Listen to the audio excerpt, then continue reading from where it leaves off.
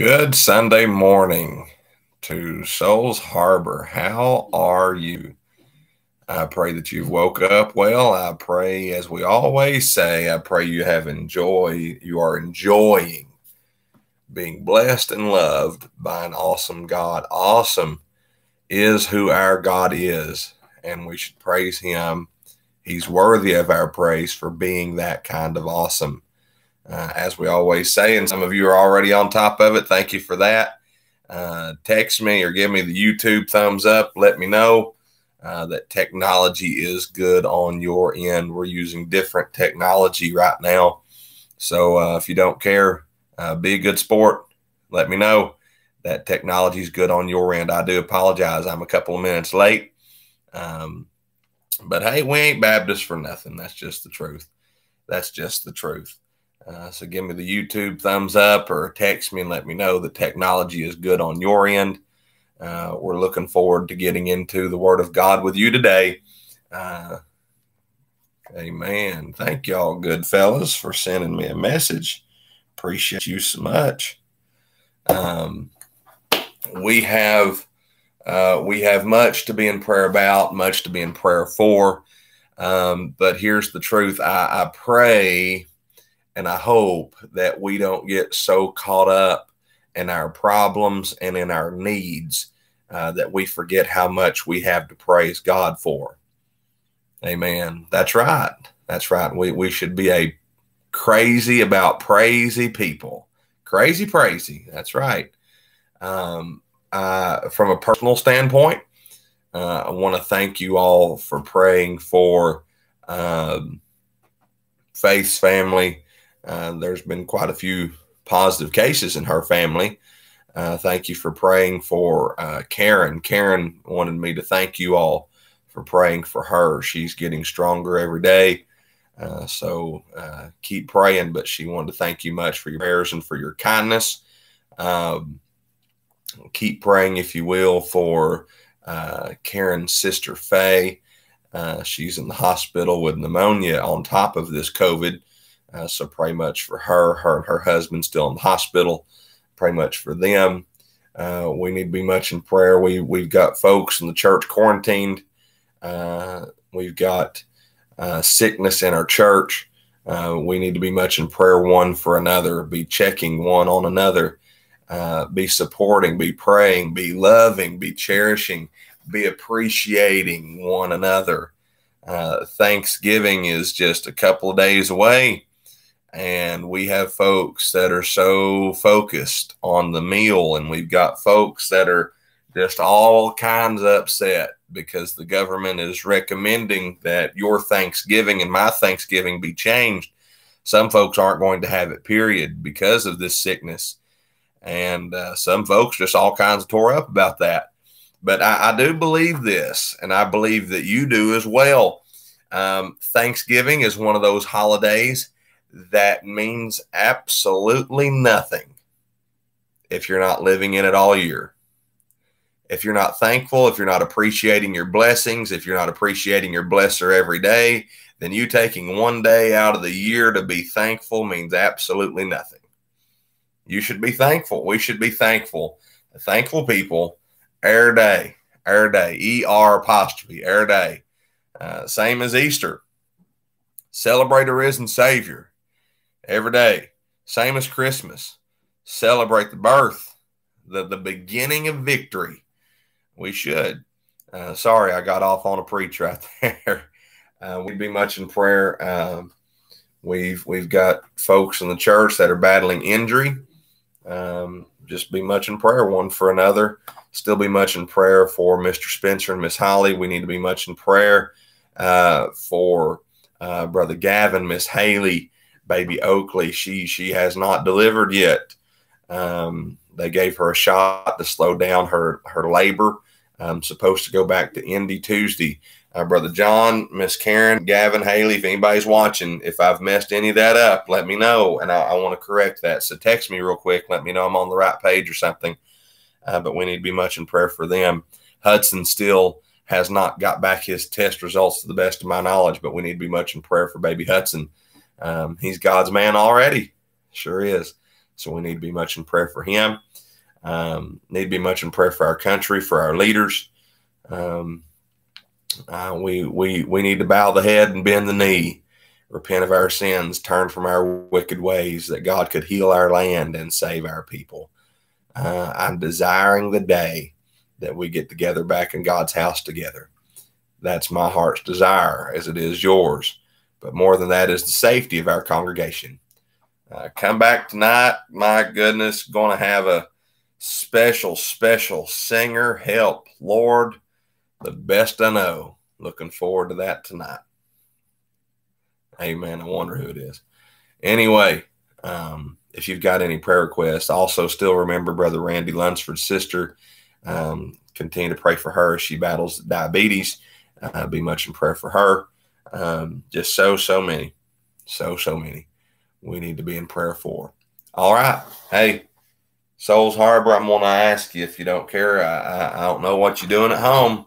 Uh, well, Chase, we're staring at you. Ain't you blessed? I'm kidding. God help me on a 50 flat inch screen TV. God have mercy on your eyes. Um, Souls Harbor, can we pray together? Can we pray together? Let's just go ahead. Souls Harbor, all the churches that are gathered with us today, let's pray together. God, we look to you, Lord. We thank you for this day. We thank you, God, for being so great. We thank you for being our help. We thank you for being our stronghold, our mighty tower. Father, thank you for being our anchor. Lord, thank you for being our calm in the storm. Thank you for being our shelter. Thank you for being our blesser. Jesus, you're our help and you're our strength. God, there's no one like you. And I praise you forever just for being you. God, I thank you, Lord, that we have a way to get the gospel out.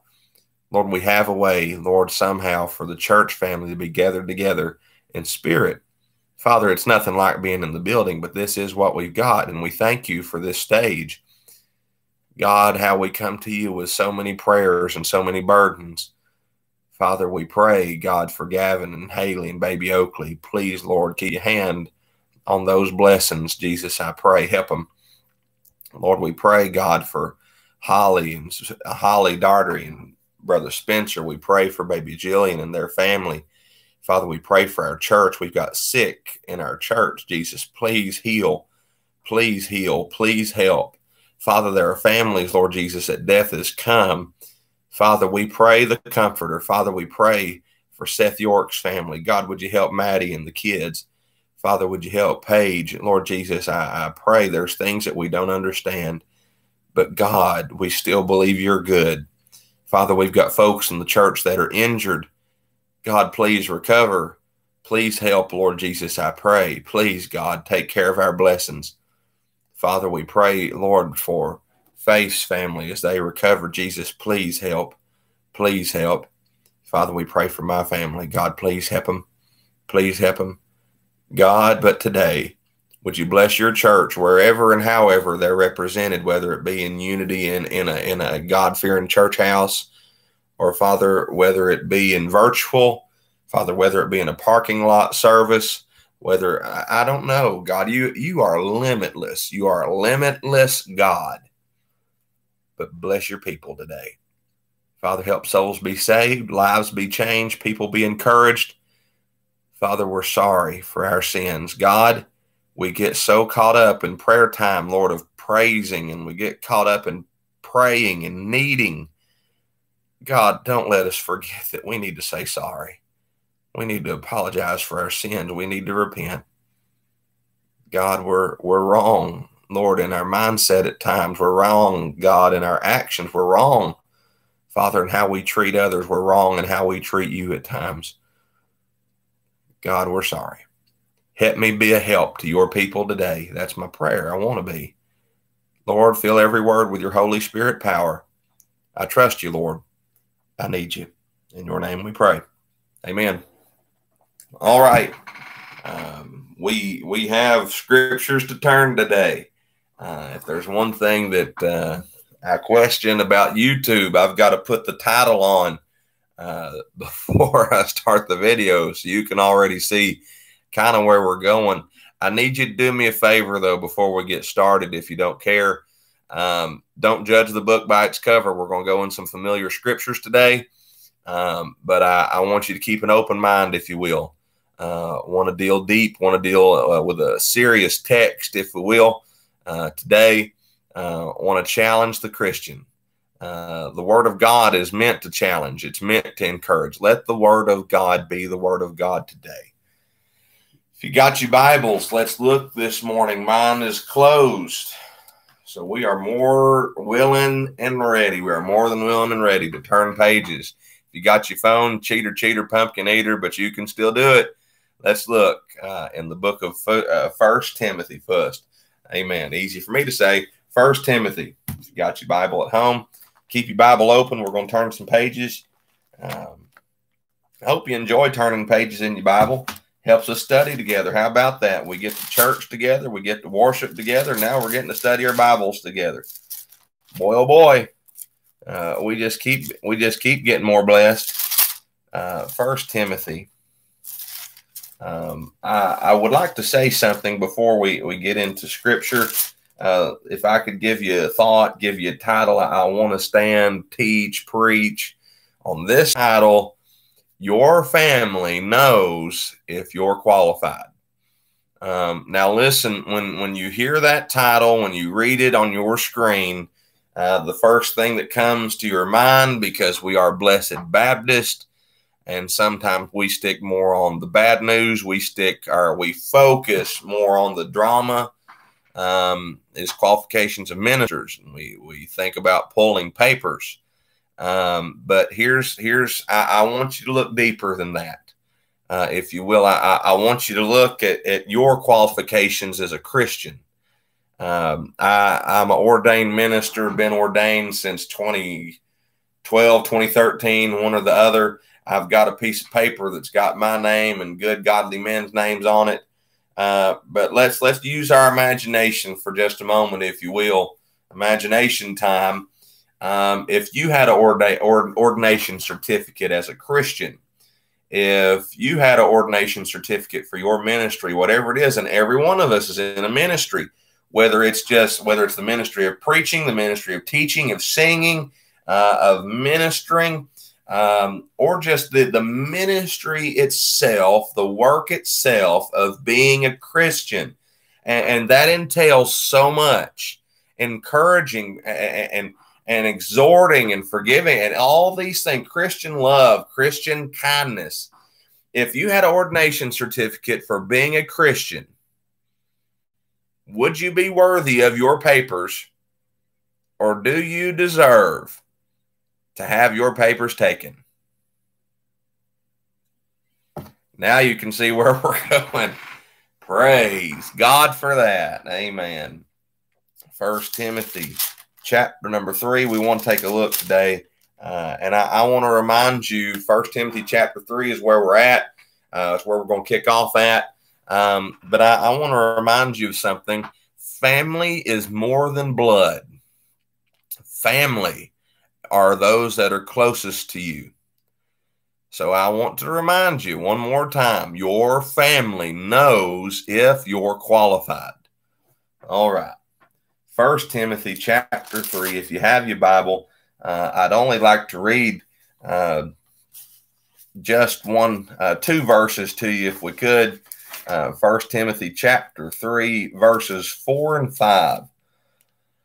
Bible says this, First Timothy chapter 3, verses 4 and 5 One that ruleth well his own house, having his children in subjection with all gravity. For if a man know not how to rule his own house, how shall he take care of the church of God? And obviously, this is looking at pastors. Uh, and I, I, understand that. But again, I, I want to look at all of us. I want to look at preachers. I want to look at teachers. I want to look at evangelists. I want to look at I want to look at spouses. I, I want to look at kids. I want to look at Christians. Um, but your ministry, let's talk about your ministry first, because obviously this is where we're at in Scripture. First Timothy 3 is going over the, the ministry of pastorship. Um, your family knows if you're qualified. Now, when I say qualified, I'm not just talking about whether you have the right to do what you're doing because of your stance or because of uh, what you've done wrong, but your family, they know if you're living your ministry or if it's just a performance. Amen. That's right your family just just to put it in truth and remember i'm talking to all of us and i know i'm i'm detailing that because i, I don't want you to sit back and say get them chase get them chase and, and point at preachers or point at whoever you want to.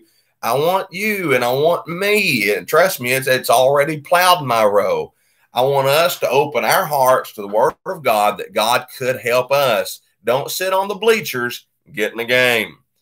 Um your to, to put this in, in just layman's terms your family knows if you're living what you're preaching or if you're just noise and racket. Your family knows if the christian life you expect others to live is what you're living or if it's just noise and racket. That's the truth so let's look at your ministry, no matter what it is. Uh, if it's preaching, if it's teaching, if it's if it's singing, if it's being a help, whatever you feel, if it's reaching out and praying with people, if it's reaching out uh, and encouraging people, you know the ministry that you feel God has put you in. Now, I want to look first, if we can, at dedication. Your family your family, those closest to you. And absolutely, we can look at that as work colleagues. We can look at that as schoolmates. We can look at that as your best friends. We can look at that as your friends. Whoever is closest to you, they know how dedicated you are to your ministry. They know how faithful you are. This is what I've always said concerning preachers. Um, if I could say it this way, uh, my preacher buddies, they they don't know.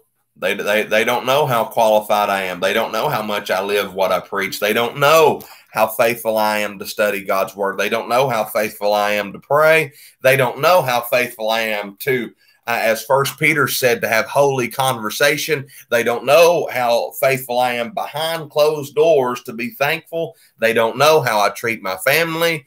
They're guessing. It's a guesstimation if you'll have it that way the church, Souls Harbor, where I pastor. I pastor you. Thank you for letting me serve.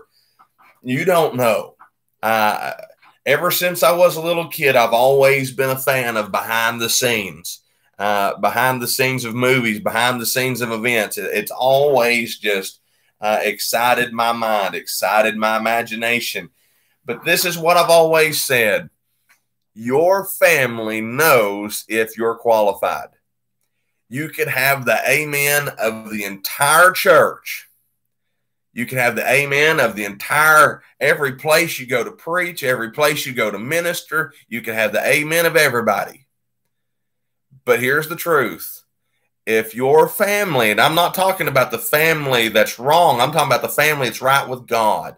If your family knows that what they're seeing is not true, there is a problem.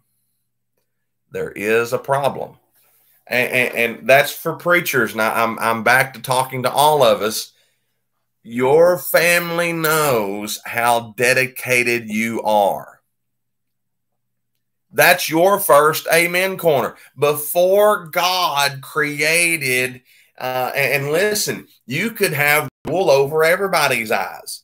You could have the wool over your work people's eyes that man alive, you're dedicated to what God's called you to do, no matter what it is. Again, you're you're you're you could have the wool over your schoolmates, you could have the wool over your friends, you could have the wool over your social media accounts, you could have the wool over everybody's eyes. But I promise you, your family knows, my friend, how dedicated you are to the work God's put you in.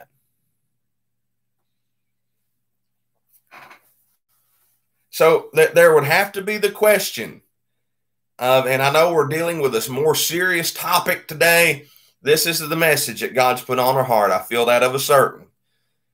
the, the question would have to be we, we talk a lot as as Christian Baptists, Baptist Christians, of who you have confidence in and who you don't have confidence in. Well, I don't have confidence in that group of singers, and I don't have confidence in that Christian. I wouldn't ask so and so to pray for me. I wouldn't listen to so and so preach. Here's a challenge for you look to your wife, look to your husband and ask them, honey, do you have confidence in me as a Christian? And don't ask in a defensive manner. Don't ask in a manner looking to get praise. Don't be ready to jump and fly off the fence mad. But I, am talking about your spouses right with God. Your, I'm not talking about people that are uh, mad against God. I'm not talking about because here's the facts. If folks are willing to be dishonest with God, they'll be dishonest with you. That's the truth. So look at your spouse that's right with God. Look at your kids that are right with God. Look at your siblings. Look at your parents, whatever the case is. Then ask them as a Christian because before you can be a minister, you got to be a Christian. Before whatever the case is, saved first and here's the facts just because you're saved doesn't mean you're Christian. Just because you're saved going to heaven doesn't mean you live in heavenly. Ask your family Do you have confidence in me as a Christian? Let's let's continue in this dedication way if we can. Your family, and, and, and here's the thing no matter what ministry you're in, there are some things that are essential to every ministry because every ministry, no matter how many branches it has, every ministry is a branch off one tree, the tree of life, which is Jesus Christ. No ministry, whether it's feeding the poor, whether it's being encouragement to the discouraged, whether it's checking on people, whether it's singing, whether it's preaching, evangelizing, exhorting. And listen, teachings, teaching classes you can feel is your ministry. If that's the field God's put you in, your job can be your ministry. But it's still a branch off the tree of life. So there are things that are essential because we're off that tree. So without Jesus, no matter what your ministry is, your ministry does not prosper how God wants it to if you remove yourself from Christ. Bible study is essential for every ministry. Every ministry. it's essential for why we believe what we believe. Absolutely, it is. It's essential to be able to help people because it's the word of God. It's Jesus Christ in the volume of the book. Absolutely, it is. But here's the truth your ministry is the work God has blessed you to do to make an impact, make an impression, make a change in people's lives, a positive change. And there's no positive change without the Christ. There's no impact without the great I am. So it's impossible. It's impossible to make this impact for Christ without Christ's word. If Christ is not making an impact in you, if he's not daily changing your life, if you are not allowing him to be God through his word in your life on a daily basis, you are daily hindering the work that God has called you to do. Can you say amen? That's right. That's right. Your family they know if you study your Bible. They know how much you let God's word change you. Well, Chase, I study on my own. I, am never around my family when I study. That, that's me and God time. Why are you insecure? Why are you insecure about your time with God? Why why wouldn't you study your Bible? And I, I, understand that that's necessary. Trust me, I do the same thing. I study my Bible up here in this room on a faithful basis, but don't doubt it a bit. I, I, I'm more than fine studying God's Word in front of my wife and family. My friend, and here's the truth if your family, and this is not from the hip, this is from the throne.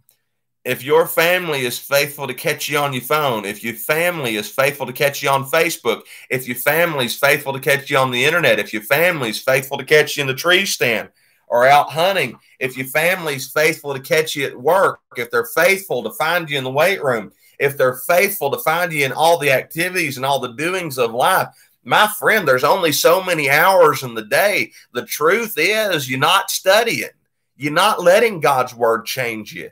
So when you go acting and portraying this work that God caused you to do, has called you to do, and you got no Bible bullets in your gun, your family, my friend, has called your bluff.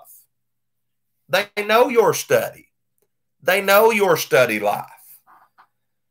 So, is your family, when they look at your Bible study life and how much you're letting God's word change you and how much God's word is your vocabulary, are they saying amen to your study life or are they saying, uh oh?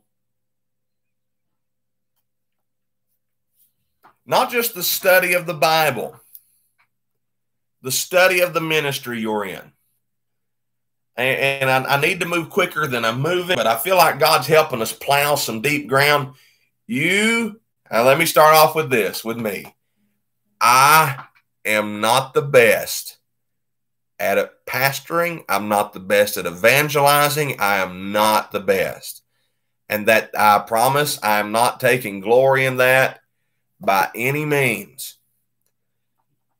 Here's what I'm telling you you're not the best. I love you, and I know that stings a little, but you're not the best. So the and it doesn't matter what ministry you're in. If you're a, a, a, preacher, you're not you are not the best. You have not arrived. You did not write the Bible. Your name is not Apostle Paul, and even if it was, you're not him. Even if you're a prayer warrior, even if your name's Hannah, you ain't the one. Even if you're a singer, you didn't write the book of Psalms. You have not arrived.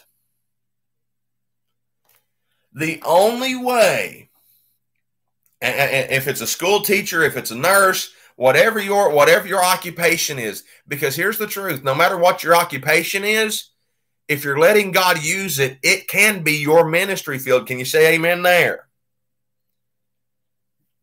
You're not the best. So, as, as discouraging as that sounds, the only way that the best become or have became the best is surrounding themselves with the best, being interested in the best, and following after the best. So here's my question Your family knows your study life as it is to study to become that. So for a preacher, your family knows how much you listen to good preaching. And I, I, know that we're living in a time that folks are, you know, are against some things, against studies if it's not in the Bible. And listen, I'm not the most, I'm not the most notable reader. I'm not. I've got a few books that I like to read. Your family knows how much you look into other ministers' readings if you're a preacher. Your your family knows how much you listen to preaching. Your family knows how much you talk to good preachers. Your family knows these things. And listen, if you're a minister's wife, you are not the best. If you're a deacon's wife, you are not the best. The only way to become that is to surround yourself with the best. Every every Timothy has a Paul, and that's gender neutral. Because I feel in my soul, Chase Lay, as a Timothy, ought to have Apostle Pauls that he looks up to. Pastor Bob Bogue's one of them. He's a hero to all of us. I've got I've got men that are pastors to me. I'm more than fine running them off for you. Pastor Bob Bogue, Pastor Tim Jones, Pastor Doug Newberry, Pastor Kevin Benny, Pastor Cody Dykes, Pastor Scott Harper. Uh, I believe that is my list. Pastor Bobby Dale Jewell, Pastor Johnny Zachary, Pastor Ben Lay, Pastor Greg Overton. There's my list. Those men are not just pastors to me, Pastor Eugene Bird. Uh, those men are not just pastors to me, but they're pastors to my wife.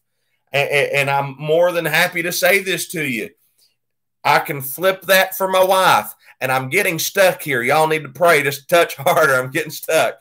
I can flip that for my wife, and I can say that Nana Bogue is a pastor to her. Take that term loosely. I know.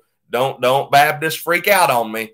But I, I Pastor or Miss Nana Bogue is a what you would call a pastor to my wife, Kim Jones, Debbie Harper, Geraldine Bird, uh, Elisa Jewell, uh, Kim Jones, uh, Miss Sherry Newberry, uh, Aunt Karen Lay, and, and the list goes on. My friend, listen to me. The same as if you're a teacher. I'm talking Sunday school teacher. I'm talking teacher.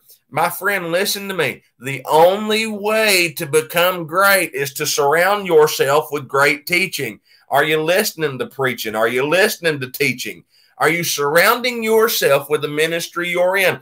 And, and here's the truth the Christian life is a ministry. So here's the truth the only way to become a great Christian, only way to become a great Christian, my beloved friend, obviously surround yourself with Christ. We're teaching Thursday nights on having a Jesus centered, Holy Ghost filled life. But I want to promise you, your Christian life will fail if you surround yourself with hypocrites, you surround yourself with bitterness, you surround yourself with anger, you surround yourself with gossipers, you surround yourself with drama addicts, you surround yourself with people that refuse to do anything else but throw a pity party. You want to be a successful Christian, surround yourself with successful Christians. Can you say amen? That's right. That's right. And that's that's neutral for all of us. The study of becoming a successful, great Christian. And I mean great because none of us will be perfect until we get to heaven. So if you ever feel like you've arrived, let the reins of your brains know you've got a long way to go.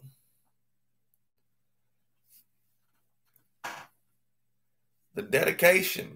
How much are you studying your Bible? I'm talking to all Christians. How much are you studying your Bible? How much are you listening to Jesus music? How much are you talking to great Christians? How much are you talking to heroes of faith? How much time are you spending? My friend, Oh, uh, surrounding yourself with Christian influences. How much preaching are you listening to? How much singing are you listening to? How much teaching are you listening to? How much are you talking with your family about the Christian ministry, the Christian work? How much are you talking about the church business that's going on? How much are you talking about what you want to see at the church? How much are you how much time are you spending in prayer? The study and the dedication of the Christian life your family knows it. And if it's your job, your occupation, if, if it's no matter what it is, I'm not going to run through the list again. You can't be great at it unless you surround yourself with greatness. Hey, real quick, I feel like I'm losing you.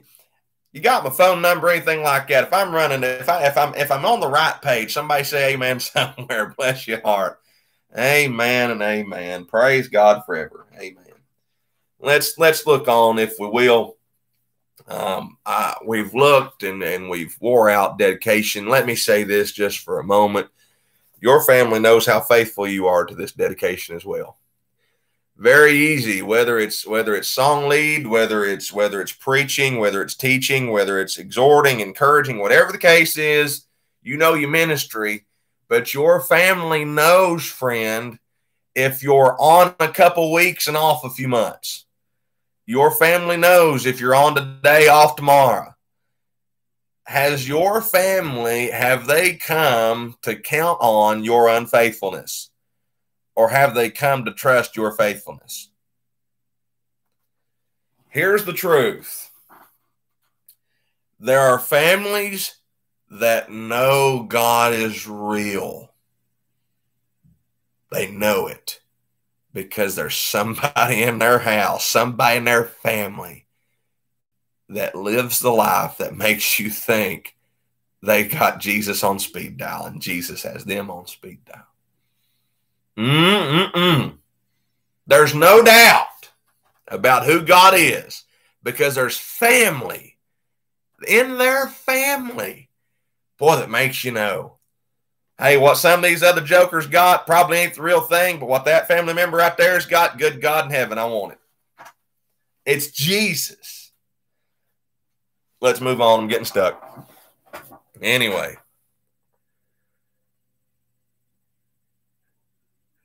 Thank you. Your family knows, and I might wind up, I don't know, pray hard. I, I need to get through some of this. Your family knows the passion that you have for your ministry. Your family knows the passion that you have for your ministry, the love you have for it. The, and, and, and that's the best word I can use. Your family knows the love you have for the job for the work, for the life God's gave you to live. I'm going to hit some of these quick because I've got bigger stuff to get to. If I sat down with your family and I looked at them and I, I was talking to them about you, and I asked them, what's some things that your daddy, what's some things that your mom, what, what's some things that your son, what's some things your daughter, your grand, you know who you is. What what do they love? Would the work and the life God's gave you to live, would they even mention it? Would it be first? If it's preaching, and I sat down with your family and I said,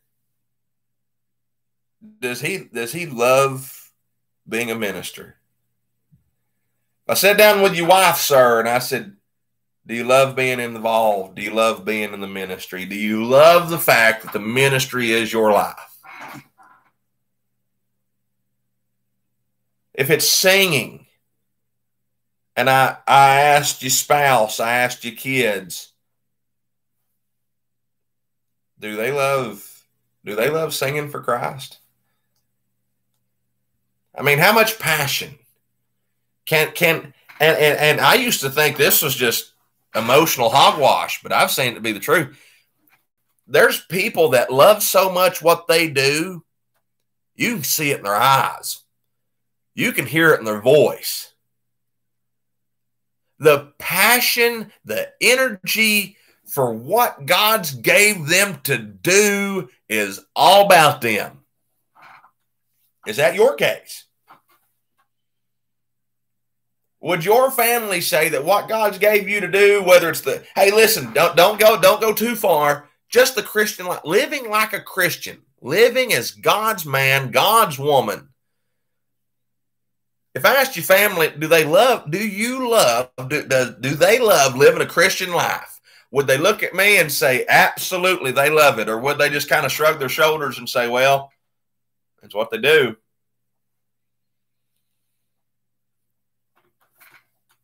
Let's move on. Your family knows your passion for your ministry.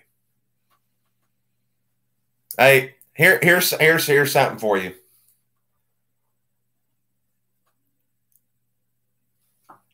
Your family knows if you're getting bored. I'm not just talking about watching a YouTube video. I'm talking about your family knows if you're getting bored doing what God's called you to do. Your family knows if you're getting bored living the Christian life. Your family knows if you're getting bored praising God, you're getting bored living for God, you're getting bored serving Him, you're getting bored preaching for Him, you're getting bored teaching, you're, you're getting bored in the work God's put you in in life.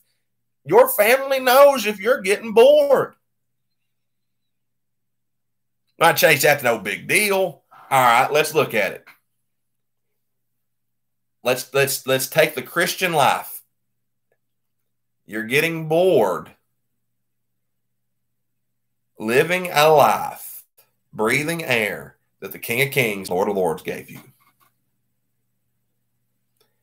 You're getting bored surrounded by blessings that God Himself picked out for you. The creator of everything picked out for you.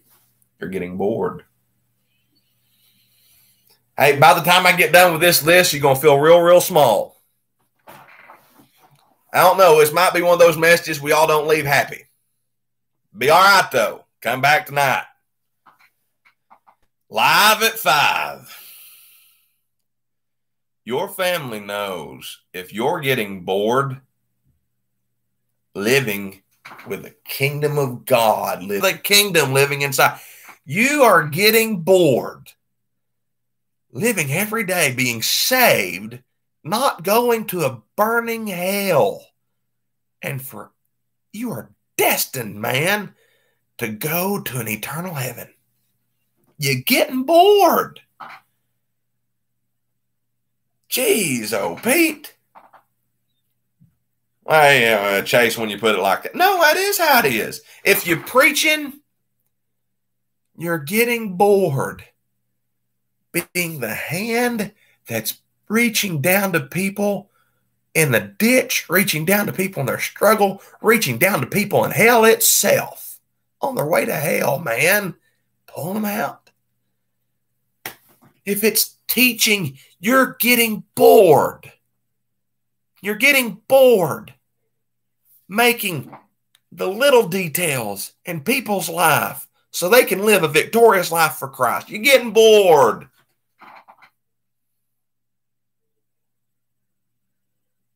I know. Hey, I'm just going to put it blunt. Don't we feel like dummies that we're getting bored now? Getting bored. All right, let's move on. Lastly, concerning your ministry, and we'll move on because I, I, I, need I, I need to move faster. Folks, I'm to take us to that 60 minute mark. Just letting you know now. I mean, I ain't going to get done. I just know I'm not, so I'm not going to try. Uh, but I, I want every word to have meaning. Your family knows how much joy you get out of the ministry you're in. They do.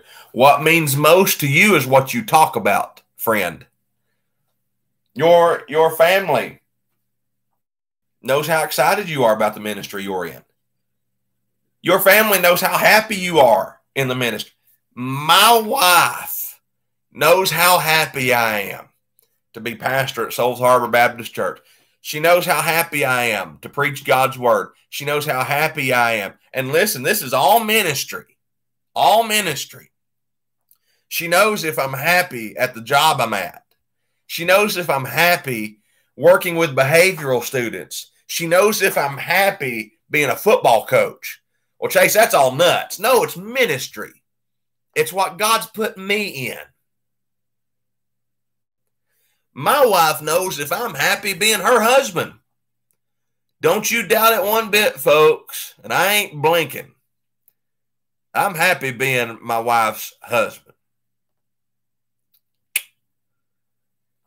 Don't you think that your family knows you good enough to be able to pick up when you ain't happy?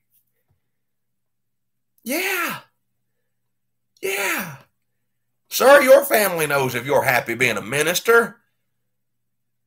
Ma'am, your husband knows if you're happy being a minister's wife. Sir, your wife knows if you're happy being a deacon. Ma'am, your husband knows if you're happy being a deacon's wife. Listen, friend, your family knows if you're excited about the work God's put you in. I'm not talking about getting up every Monday morning at the crack of dawn, jumping out of your bed. Yippee, I get to go to work. Because the case the Mondays are real, folks. But there should still be happiness. There should still be joy out of living the life that God's chosen for you. Are you still happy? Are you still joyful? Rob Bogue, Holly Lunsford, Courtney Golden. Are you are you still happy singing for us on Sundays? Are you still happy being a blessing to us? Musicians, are you still happy making a joyful noise, praising Him with stringed instruments and wailing with drums? Our Sunday school teachers, are you still happy? Are you still excited about teaching our people and making a difference for the cause of Christ? Souls Harbor family, are you still happy What, well, Chase, what we going what we gonna do if people ain't happy? If they ain't happy, need to talk to God. God make them happy. God turned the frown upside down. There ain't nothing wrong with God. There's something wrong with the people. Discouragement can happen to all of us. It can, and it does. But it's our responsibility to go to God when those discouraging times happen that we can be encouraged. I've said it before and I'll say it again and we'll move on. The difference between power filled saints and not are people that are happy to be power filled saints.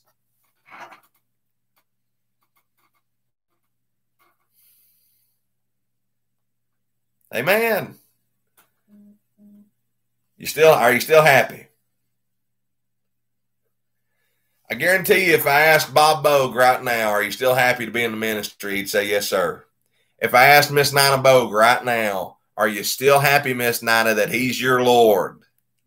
Boy, I can about to tell you how that'll go. Glory to God.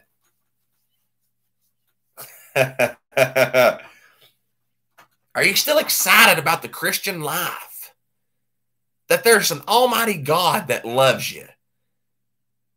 There's amazing grace, or is it is it just good grace to you now? You know, it's just all right grace to you.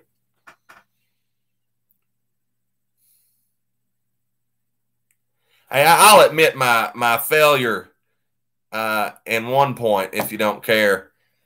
There was a time uh, preacher, pastors, whoever look at me and Brother Chase come preach, I'd be about at a fast paced jog, fast paced walk, get to the pulpit. I need to get back to that. Anybody else need to get back to some excitement in your in your Christian life?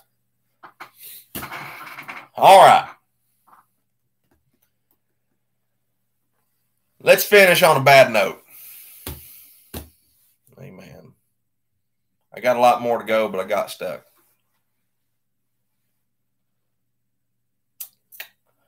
Turn in your Bibles, if you got your Bibles at home, to the book of Ephesians. Book of Ephesians. We're getting close to being done. Amen. I, I ain't going to take us over that 60 mark. You got my word. The book of Ephesians, if you got your Bibles, let's go there, please. We've got uh, two more places to read. Ephesians 6, if you have your Bible at home, verse 4. Ephesians 6 and verse 4.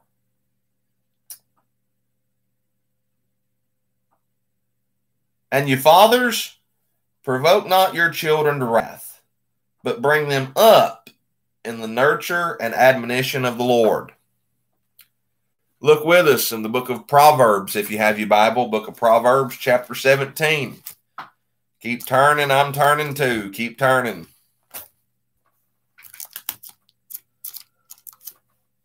Book of Proverbs, chapter number 17.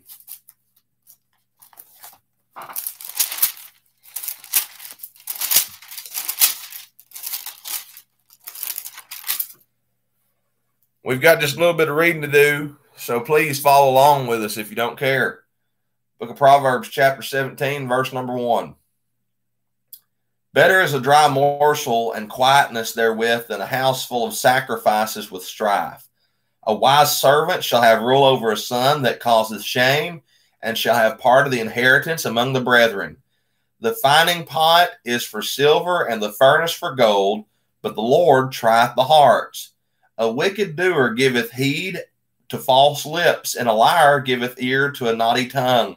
Whoso mocketh the poor reproacheth his maker, and he that is glad at calamities shall not be unpunished. Children's children are the crown of old men, and the glory of children are their fathers. Excellent speech becometh not a fool, much less do lying lips a prince.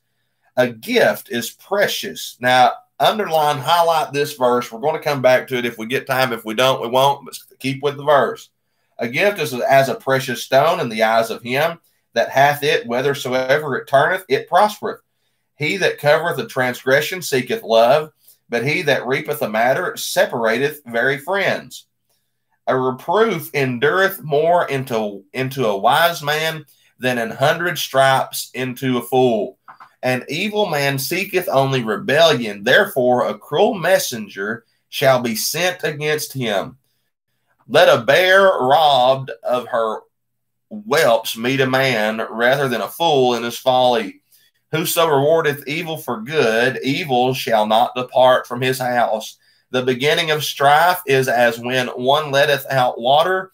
Therefore, leave off contention before it meddled with. He that justifieth the wicked and he that condemneth the just, even they both are abominations to the Lord. Wherefore is there a price in the hand of a fool to get wisdom, seeing he hath no heart to it? A friend loveth at all. I love this verse. A friend loveth at all times, and a brother is born for adversity. A man void of understanding striketh hands, and becoming surety in the presence of his friend. He loveth transgression that loveth strife, and he that exalteth his gate seeketh destruction. He that hath a froward heart findeth no good, and he that hath perverse tongue faileth. He falleth into mischief. That's reading uh, book of Proverbs 17 1 through 20. Uh, I want to say this, and we're looking at just a, a, a, new point just for the last few minutes, if you don't care. Um,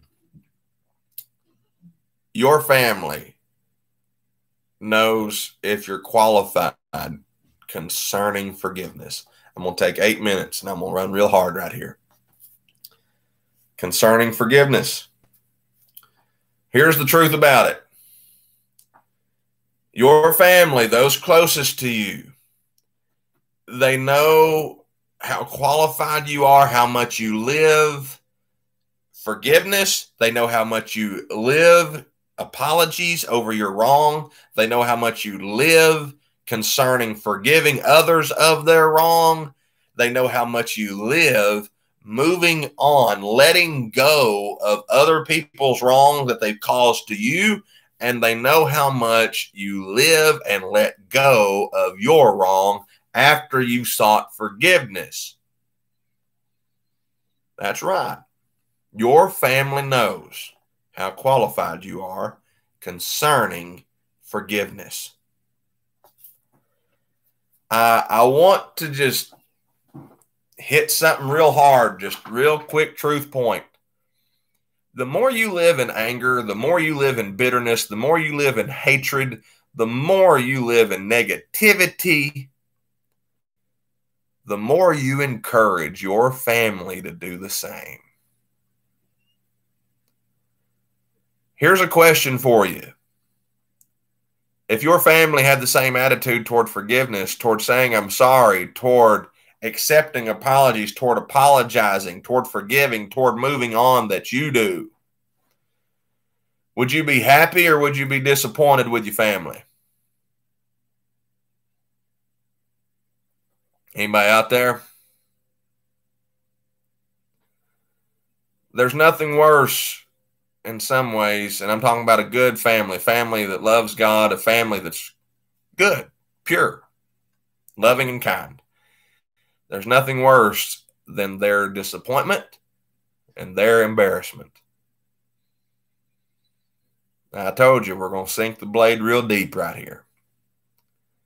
You look at your family and you say, I'm sorry for some wrong you've done. They just shrug their shoulders, their shoulders and go on because they know what you've apologized for, you will continue to do. Your apology means nothing. You're not qualified in forgiveness. You're disqualified. Amen. Your family looks at you and they apologize to you for whatever wrong that they've done. They apologize out of the goodness of their hearts.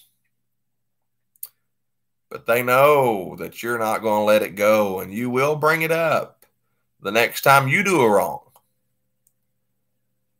You're not qualified. If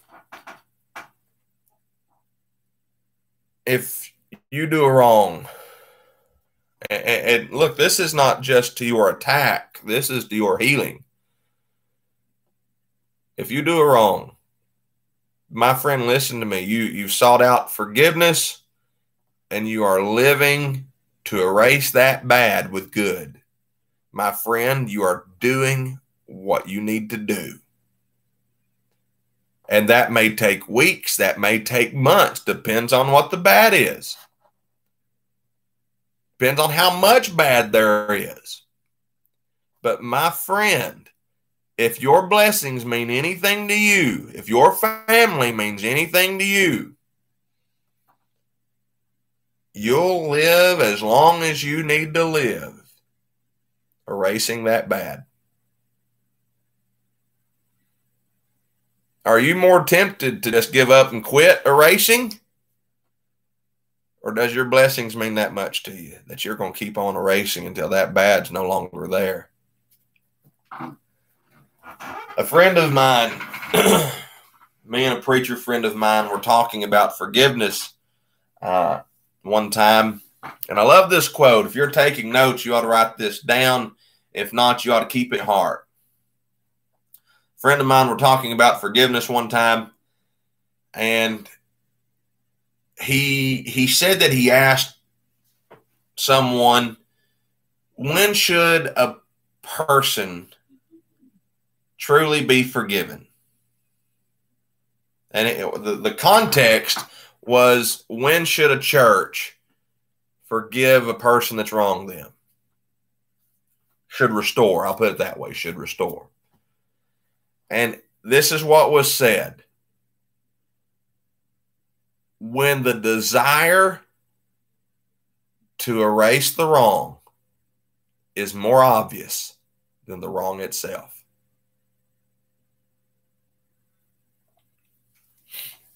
How qualified are you? How qualified are you in forgiveness? Or do you need to turn your papers in? How qualified are you as far as your own wrongs? How much does your family know that when you hurt their feelings, when you say things wrong, when you do things wrong, when when you lash out in anger, when whatever your case is, I don't know you. How much can they trust that you're going to apologize and live to make it right?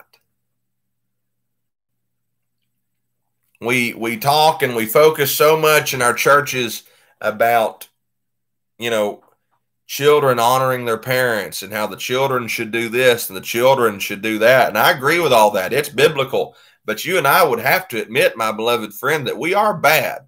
We are bad to pull out the scriptures that we want to pull out for the reasons that we want.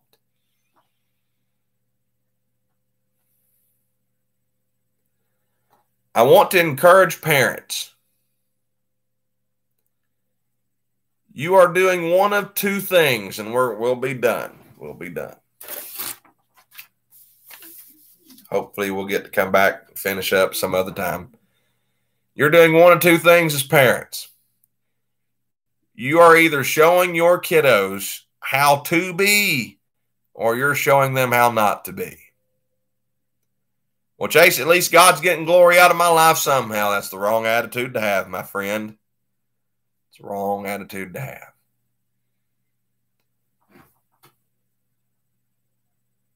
If parents wrong kids, parents need to apologize and fix it. If kids wrong parents, it's needful that kids apologize and fix it. If siblings wrong siblings, it's needful that siblings apologize and fix it if families, it, it, doesn't matter if it's spouses that wrong spouses, there needs to be an apology. If you care, you will. If you don't, you won't. You're not apologizing to get forgiveness, you're apologizing because you're wrong. How qualified are you concerning forgiveness?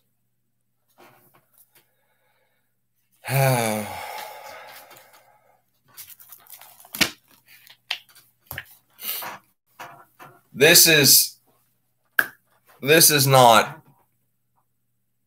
one of those messages and i'm closing my my bible is closed i do apologize this might not be one of those messages that we all just get up and shout a while.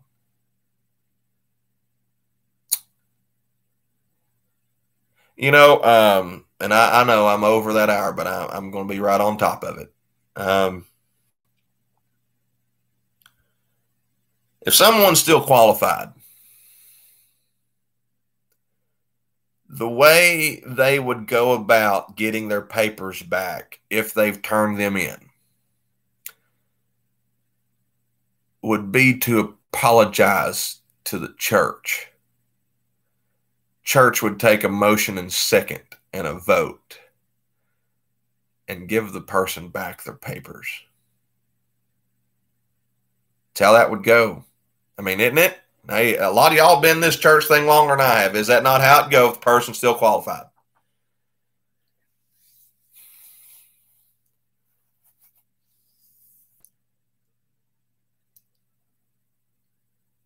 Some of y'all, some of us,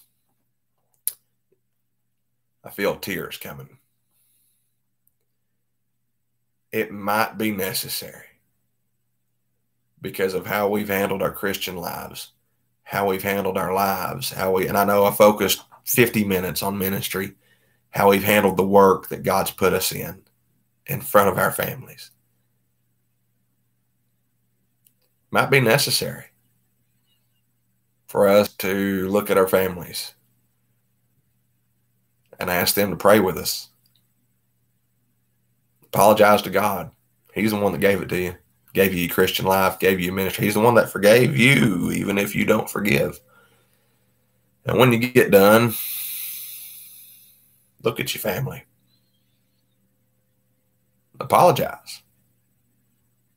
Ask for your papers back. No, not physical papers. Ask for their confidence back. And don't just ask for it back, promise to work for it. Get you excitement, get you dedication, get you passion Get you forgiveness. There's a review. Your ministry and your master are worth it. Your blessings and your blessers worth it. Oh, anyway, hey, I'm looking forward to being back with you tonight. It'll be more positive. It'll be more positive. Not sure which way we'll go. We may finish off tonight or may finish off this morning's tonight. We've got some other things on our heart. We'll just wait and see. Um, Souls Harbor, I love you. Faith, if you're watching, I love you, dear. My family, I love you. And love has a desire to please the one it loves. Can I encourage you before we go, just in case there's anybody watching might need to do a little repenting party at your house?